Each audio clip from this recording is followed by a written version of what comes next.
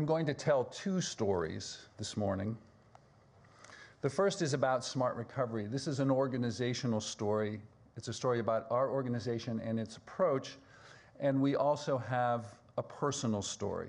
It's about each of us who is affiliated with Smart Recovery, who's on a life journey that has intersected with Smart Recovery.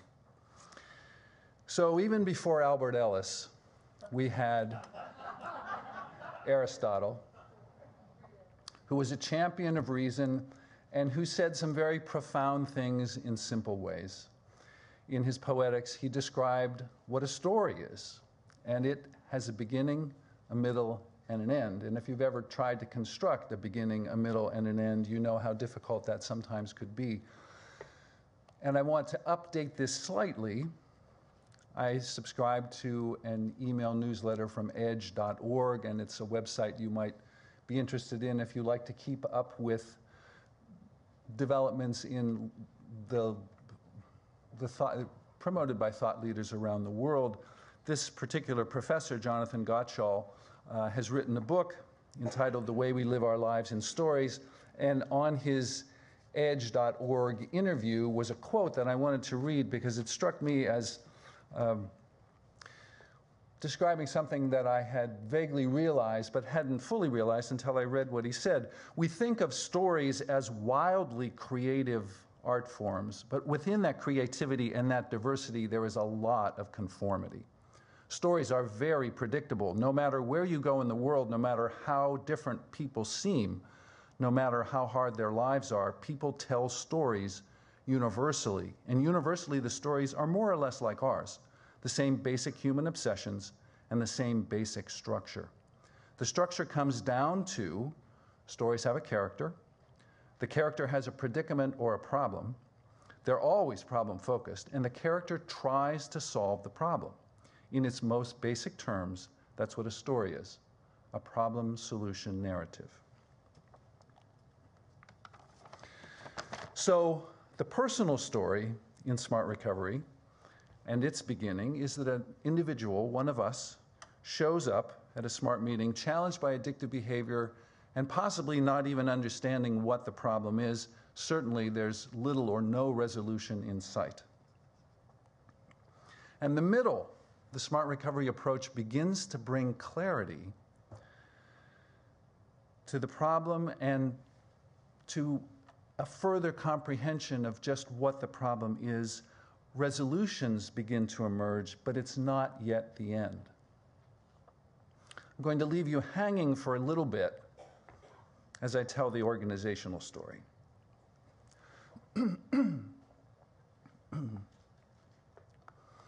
So our organizational story begins in the 1980s. The problem is that there is no substantial self empowering, self help, mutual help option anywhere, despite the work of Albert Ellis and the establishment of rational, rational emotive behavior therapy in the 50s. And beginning in the 80s, the application by Jack Trimpey and the development of rational recovery. He's applying REBT and creating this new organization. The situation at that time includes the existence of two other organizations Women for Sobriety, that started about a decade before, and Secular Organizations for Sobriety, which has started a couple of years before. But it occurs in an environment in which there is almost no internet uh, capacity the internet has been an essential component of the establishment of smart recovery. And it also occurs at a time when there's what I would call a monolithic recovery community. There is very little diversity.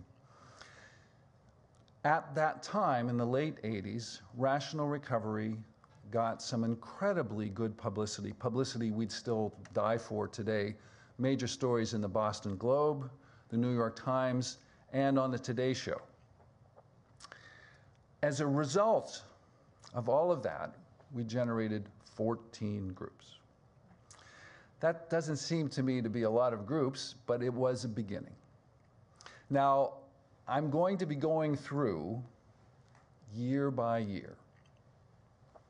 And the few bullets that I pull are, are selective and drawn from a rather complete chronology that is listed at williamwhitepapers.com uh, or .org, I've forgotten.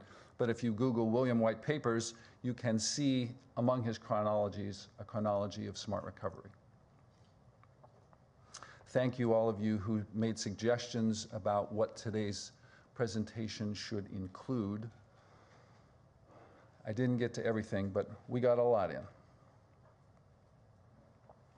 So 1991 is the first informal board meeting, and this is the group of people that I eh, consider one group of founders. There's several ways to describe the founders of Smart Recovery, but certainly this is one group, and there are several people in this room who were at that meeting, uh, including Joe Gerstein, uh, Hank Robb, Jonathan Von Bretten.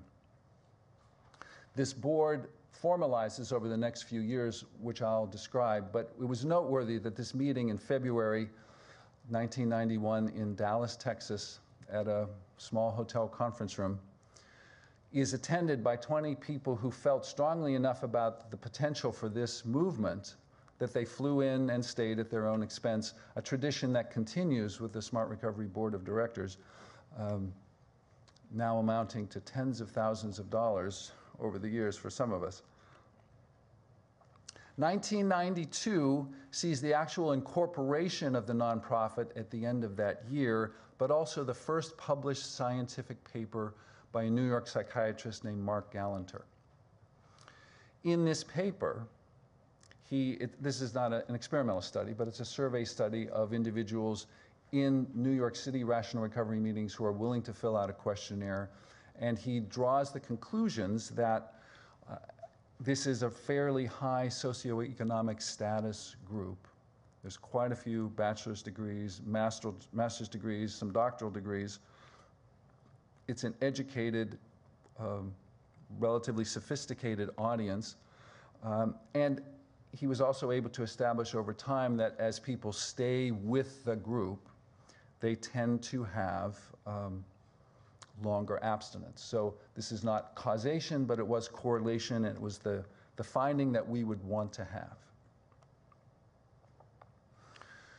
So the incorporation of the nonprofit occurs at the very end of 1992, and the first official board meeting occurs in 1993, and Joe Gerstein is elected president along with some other officers. There's about 20 people there. So this is a behind the scenes organizational and foundational year, which leads to 1994 and the first crisis that the organization experiences.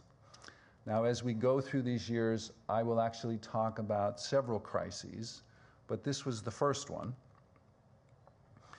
And the crisis was that the board had come together, mostly mental health professionals from around the country, not yet international, but from around the United States, has come together with a vision of a science based, probably primarily cognitive behavioral uh, mutual help group. Motivational interviewing isn't on the scene yet. Mindfulness is hardly on the scene. And this is the direction the board wants to go in. And Jack Trimpey is evolving his own thought about what rational recovery should look like. And those two directions started to diverge. The simplest solution from the perspective of the board was to part company. Now, there's a lot longer story than that that goes with it, but uh, in simple terms, the board decided to change its name to end its licensing agreement with Jack Trimpey and to move forward initially as ADASHN, the Alcohol and Drug Abuse Self Help Network, which in October 1994 was changed to Smart Recovery. And that's the name we have operated by ever since, but our legal name actually continues as ADASHN, Alcohol and Drug Abuse Self-Help Network. Once we had the name SMART, we also figured out that it made a really cool acronym, but the name came first. now, as I think I may never tire of saying, I don't think that smart recovery would exist. Um, except for the work of two people. The founder, uh, if we're going to pick just one, is Joe Gerstein, because the leadership that he exerted at that time held this group together. There's a story um, of the man, I'm blanking on his name now, who, who led his four um, lifeboats full of survivors off of Antarctica, and he stood in front of his, the lead lifeboat for like 90 hours just so his crew could see that there was someone leading things. And that was my sense of Joe during this time. And once that first year resolved itself, we knew we had an organization and we knew we would move forward. We also, at that time, picked up Shari Allwood by a, a, series of circumstances. Originally, she wasn't directly employed by us, but was employed via someone else that we had a contract with to provide our administration. And I personally thought it was such a foolish idea that we would even be in a position to hire anybody at all. I neglected to go to the interview um, because I just couldn't imagine how we could possibly get anyone competent to work for this organization that hardly even existed. So four of the five search committee went to Chicago, and I stayed home in San Diego thinking this is just a waste of money. Um, and uh, so Shari Allwood is the second reason I think that we exist today because she has been the glue that has held this organization together. And I bet that nearly every person in this room thinks of yourself as having a personal relationship with Shari Allwood, and you do because she cares about everybody who's here.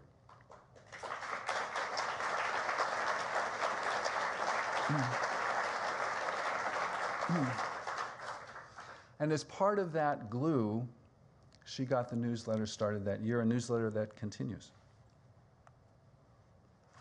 So, in just these first few years, what have we seen? There is broad support for the notion, the general idea of smart recovery. When certain key tasks were needed, dedicated individuals stepped up and accomplished those tasks. There is a professional and scientific foundation for this organization, and there remains a connection between the scientific community and the professional community and smart recovery, and it is one of the foundations uh, for this organization. And this organization can survive a crisis, which is a good thing because that will be demonstrated again.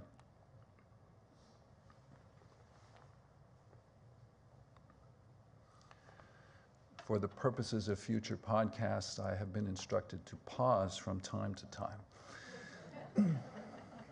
We're doing okay, Eddie? So let's pick up with 1995. We establish our purposes and methods statement, which on two pages summarizes what this organization is about.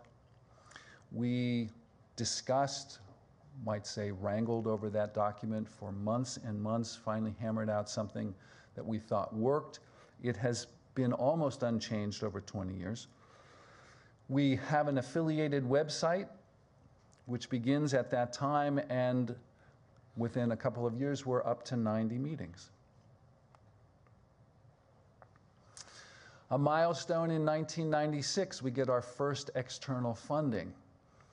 Not a grant application. Joe Gerstein picks up the phone, makes a phone call, and $50,000 from Robert Wood Johnson Foundation shows up to fund six training events in cities around the United States.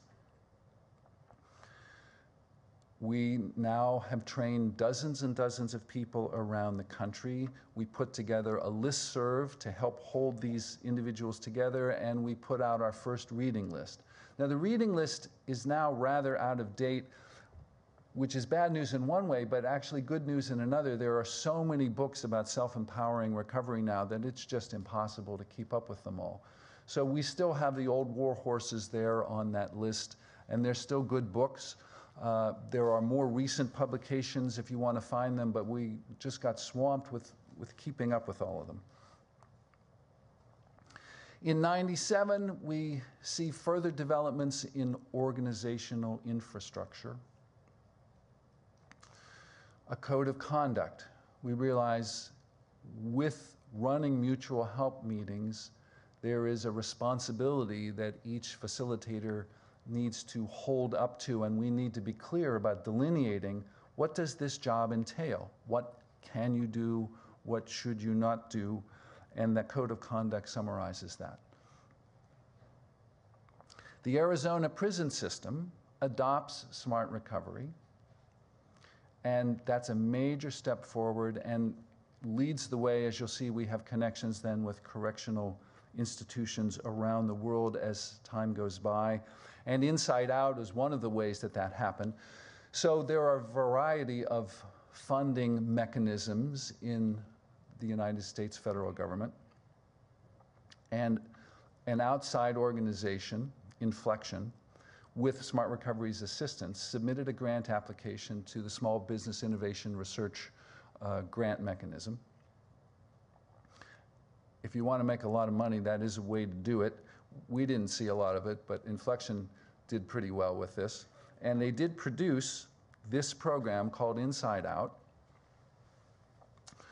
which is designed for use in a correctional, as in prison system or affiliated uh, types of settings. And in addition to describing smart recovery in detail, it presents uh, an entire segment on criminal thinking errors, which is useful for that population. So that in 97, the grant is submitted. In 97, we also establish our own website, which lays the foundation for uh, quite a bit that follows. And in 98, we established there on the website message boards and online meetings. We moved to annual trainings. We had done the six regional conferences with the Robert Wood Johnson Foundation but it's time to start annual trainings. We put together an international advisory committee, largely mental health professionals at that time, but a few other individuals. It's about, uh, we're pushing 20 individuals currently. Many of these participants have been on that committee since it was established. And for years, we had been trying to decide how to spell our name. and so the periods came in and out, and there were different, in some places and out others, and the board took what they decided was a final, final vote on the issue, and we ended up, well, as Joe Gerstein said at the end of the meeting, we're done with the periods, period. In 99, what started as, quote, cheat sheets, unquote, became the smart recovery tools over time. I think most of us are familiar with and probably comfortable with the idea of a cheat sheet, but we thought about it a while and realized that the underlying concept probably wasn't what we meant. Uh, we weren't cheating, we were actually forging ahead. And I will come to the tools in a little bit, but this, uh, as nearly as we can tell, is uh, when the tools began to emerge. So recognize that for about five years, Smart Recovery is operating with a rudimentary handbook, an online presence, and no very clear delineation of specific tools. You picked things up as you went along as to how to do this approach. In this year, we are also recognized in a publication by the National Institute on Drug Abuse, which is the Principles of Drug Addiction Treatment. In one of those vagaries of politics, which I cannot explain. This publication, published in 1999, lists, it says something like, uh, it's around page 20, uh, the, the book is devoted to treatment and the importance of treatment, which makes sense given where it's coming from, but then mentions that individuals may also wish to attend a mutual help group such as Alcoholics Anonymous, Narcotics Anonymous, or Smart Recovery. Now, they didn't get the, the spelling, uh, the spelling correct. It was capital S and all lowercase after that. But it was a big start, and we started putting it on the website that we've been recognized by this organization, and many other organizations follow this one. So we are now a widely recognized organization that's different than endorsed. Endorsed might be a little strong, but we are certainly, when people mention us, we, I think we can say that we're recognized by the Office of National Drug Control Policy. Um, so that was uh, a beginning for this kind of recognition. But the, the vagary is that when the next edition of this Principles of Drug Addiction Treatment comes out AA and NA are still in it, and Smart Recovery is somehow gone. And I investigated that to the extent I could by making contacts within NIDA, and no one could explain it to me. So I have some theories about why that might have happened, but I'm working on getting us back into the edition after this one. And human beings, primates that we are, have trouble communicating when we don't get face to face contact with people. So, this is the beginning of the recognition that online communication is fraught with difficulties, and we put an advisor in place to begin to help with our online experience. In 2000, we begin an active outreach to non recovering, thank you very much, mutual help at its best. So, this is one thing that makes this organization unique. Think about it.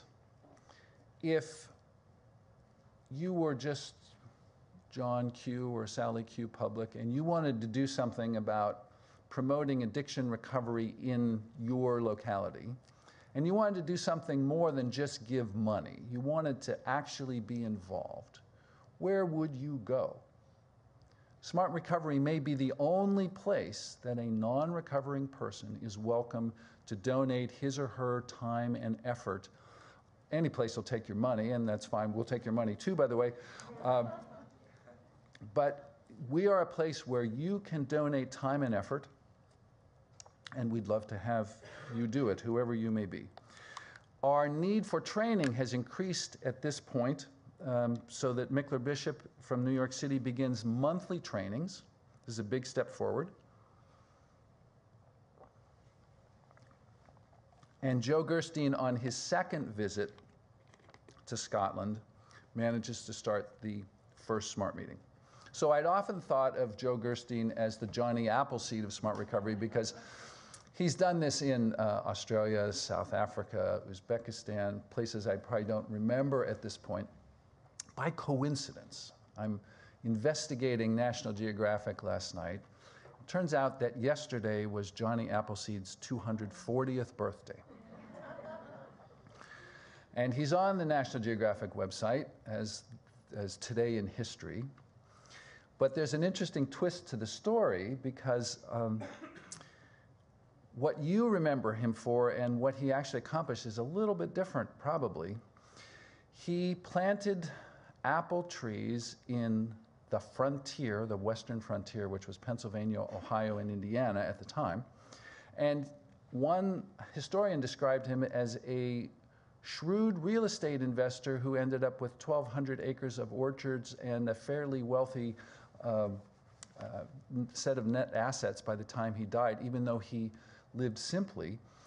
And the apples that grew on these trees were not very tasty, but they were perfect for making hard cider. so the historian said that in fact what he had done was give the gift of alcohol to the western frontier. I don't think that's the gift that Joe had in mind, uh, but he gave the gift of recovery to many countries around the world. Also, on January 1st, 2000, uh, a potential thorn in our side was removed when Rational Recovery decided that it was no longer offering groups. Although, in fact, the organizations had completely split and there really didn't seem to be much rivalry, there was always this potential that it might occur. And when Rational Recovery stopped offering groups altogether, then we were in completely different businesses, and that was a, a kind of relief. So, what do we see over these few years? We've got the correctional system involvement, we've got grant funding. It's coming in from multiple sources now. Smart Recovery Online is taking off. We have a focus on training. And we see the ongoing evolution of the Smart Recovery approach that this is an organization that was not carved into stone in 1994 and will remain unchanged ever after. In fact, this organization uh, evolves as the science evolves. Now, as it turns out, the science may not be evolving very fast. uh, in a fundamental way, and we have to look at how the science would actually apply in a mutual help group and what would be self empowering. This is really what smart recovery is about. It's the intersection of these three factors. Is it science based? Is it self empowering? Does it work in a mutual help organization? So that'll change a little bit slower than just the science itself. But we do change and keep up with that.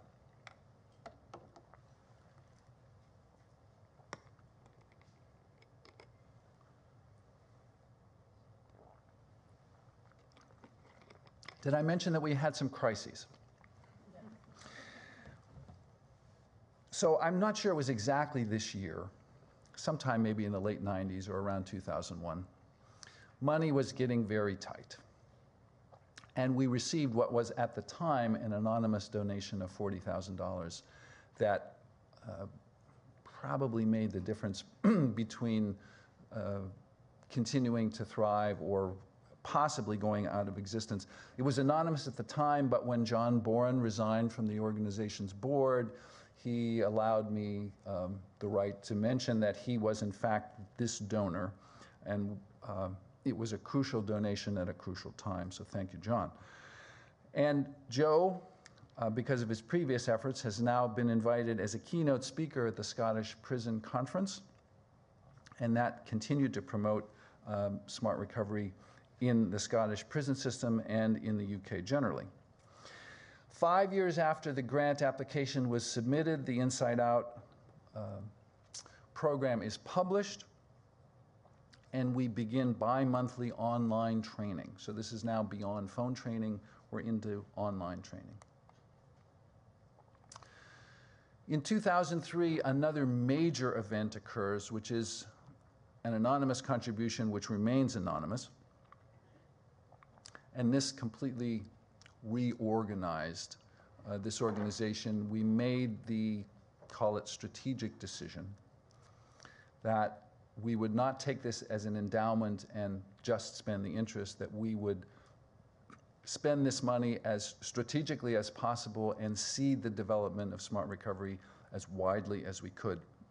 At the same time, we got a $50,000 grant from the Substance Abuse and Mental Health Services Administration of the federal government to produce training videos, and many of you have seen these videos. We've produced a whole set of them, uh, which have continued to be useful.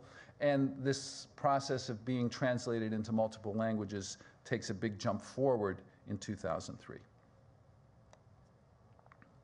By 2004, the handbook, which had had several attempts at being uh, at coming into a second edition was uh, with a new editor, Henry Steinberger, brought to fruition, and we have the second edition of the handbook in time for the 10th anniversary, which we celebrated in Phoenix. Um, a major step forward for us because everything comes together in that handbook. We also have major developments in Australia and Scotland that year, and another big study, again funded by the federal government, by uh, the Walsh Group that looked at individuals in a number of so called alternative mutual help groups Women for Sobriety, SOS, Smart Recovery. The term alternative, by the way, seems to be phasing out of existence. Uh, I, I, still use it from time to time, but we no longer need to think of ourselves as uh, we are an alternative because there are many, as Director Botticelli said, there are many approaches to recovery. We are one, one among many uh, one equal among other equals. This particular study found that uh, people in all of these groups appeared to do better uh, in, along with attending these meetings. And Smart Recovery in particular worked regardless of someone's particular spiritual or, ori- spiritual or religious orientation, which is exactly what we wanted it to be. I'll come back to that theme in a moment but almost regardless of what your ultimate beliefs or values would be, the tools of smart recovery could be useful to you. So I'm standing in front of the flags of all of the nations which are represented in person here today. And as the years go by, we hope to hold this conference around the world, and we hope to have a whole stage full of flags. On that National Geographic website, uh, I discovered that this organization is founded in 1988 and it's now 126 years old. So I began thinking about smart recovery in 106 years. We won't be here to see it, but wouldn't it be glorious to have a building like this and to have the reach of an organization like this? There are 420 magazine covers out in, I didn't count them, I just multiplied. Uh, covering 35 years with a little division, you can calculate that, uh, 35 years of magazine covers. And you can imagine the work of the thousands of people that went into making those covers and uh, promoting knowledge of the world that this organization does. So, yes, in our little way in 2005, we begin these licensing agreements. We got some presentations at major conferences. Joe got to the National Drug Court Institute along with some other people. We got funding for a teen handbook, and we're up to 255 smart meetings. We established in 2006 facilitator distance training, which um, has now been going monthly for a long time.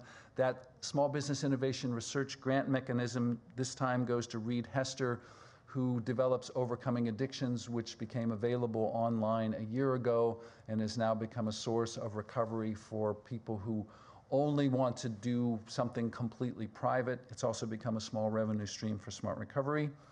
And I mentioned we had crises from time to time. Uh, we established a part-time director for Smart Recovery online to make sure that that community functioned at its highest possible level. Themes during this period of time continued international expansion. We're having both our own publications and scientific publications about us. We're continuing to develop organizational um, infrastructure and we're getting recognized, and online activities are increasingly important in this organization.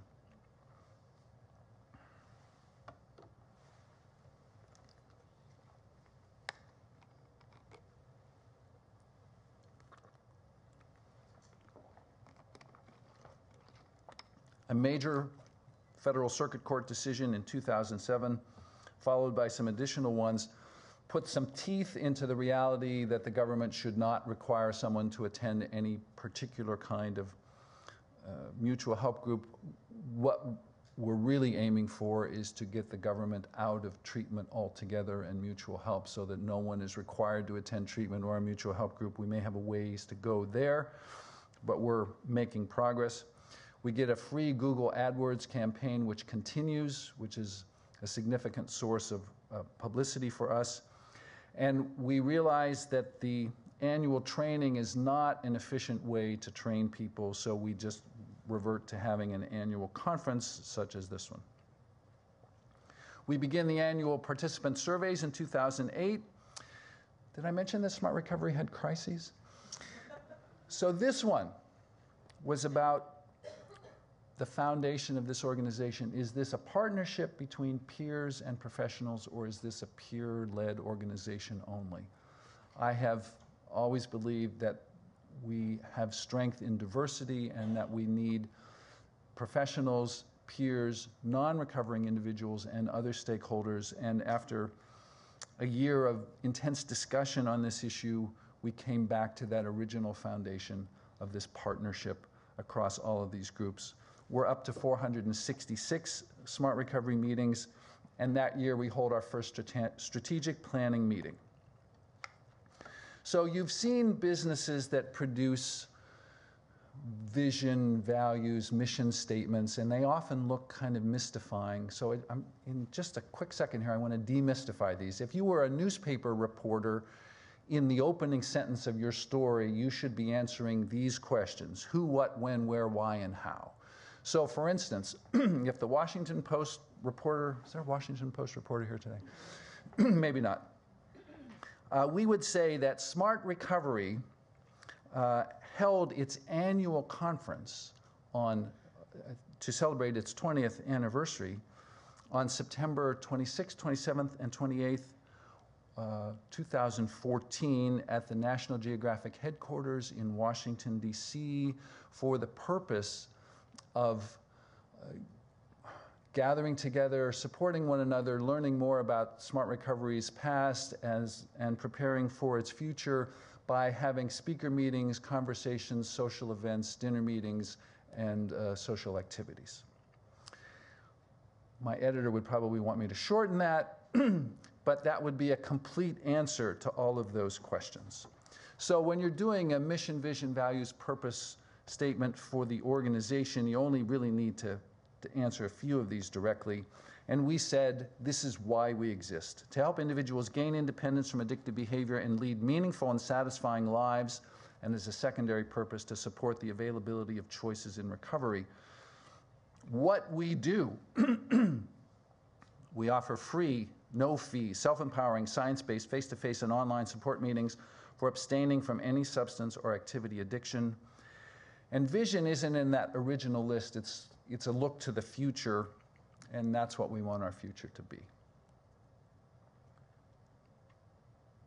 2009, we began accepting sponsorships uh, on the website and for the conference. We appoint regional coordinators. Social media begins. 2010, online family and friends begins using both the tools and craft, which is community reinforcement and family training. This is a major development in smart recovery currently with about 30 meetings altogether worldwide. This is reach to a new audience. Until now, we have simply supported individuals who wanted to recover themselves. Now we're reaching out to their family and friends, their support networks. It is conceivable to me that family and friends will become a larger component of smart recovery than the original meetings because as as most people will tell you, right before someone enters recovery, there's three, four, five, maybe 10 people who, um, who want to know that this person might uh, make changes and are willing to do something about it. We issue a statement that Smart Recovery will help you regardless of whether you view addiction as a disease and that we view the power to change as something that resides in you, not outside of you. I mentioned crises. So 2003, we had all that money. We slowly spent it down. By 2008, income had dropped substantially. We pulled ourselves together financially. By 2010, we're starting to put money back in the bank. 2011, we passed the hat as well as passed the brochure in meetings using our own participants as sources of advocacy for us in the community. Smart UK develops the partnership model. We're up to 667 meetings. 2012, first online meeting in Chinese. Online registrations over 1,000 per month.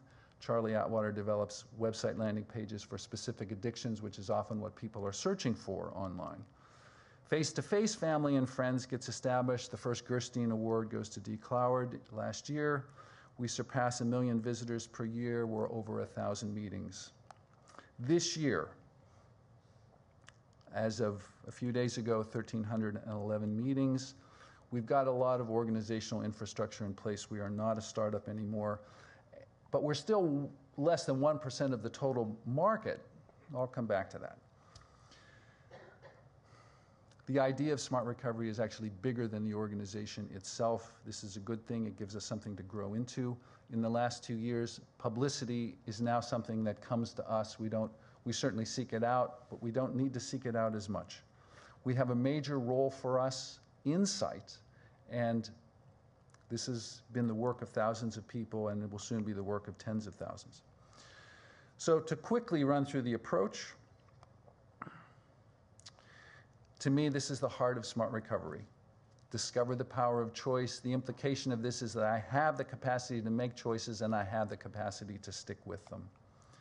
The four point program, in its revised language of 2011, th- these are not steps, but these are all the issues that we cover. And the tools all fall under these.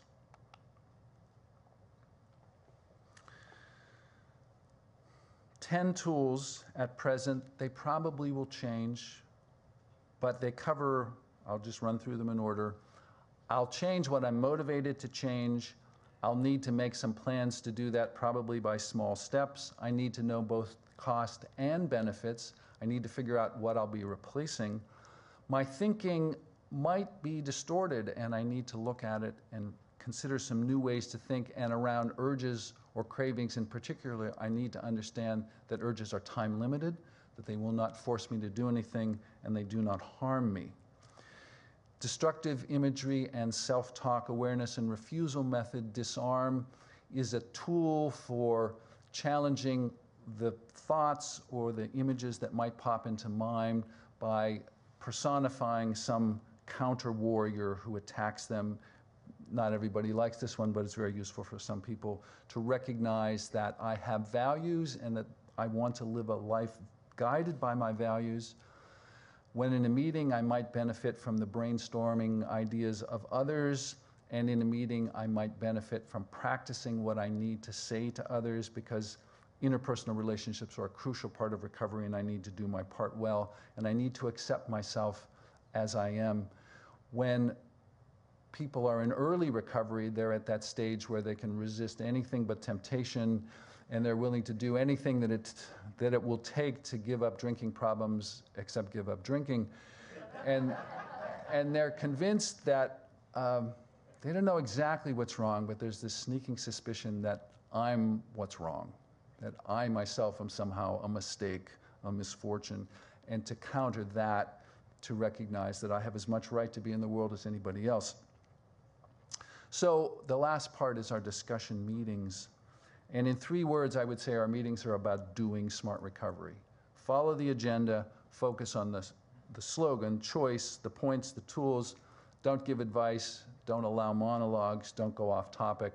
That's a smart recovery meeting. So, to update the organizational story, Smart Recovery is widely recognized now, so widely recognized that our problem has changed. The burden is now on us to be widely available. It's not about struggling anymore for recognition. Now we have an organizational mission to accomplish. And let's recap the personal story.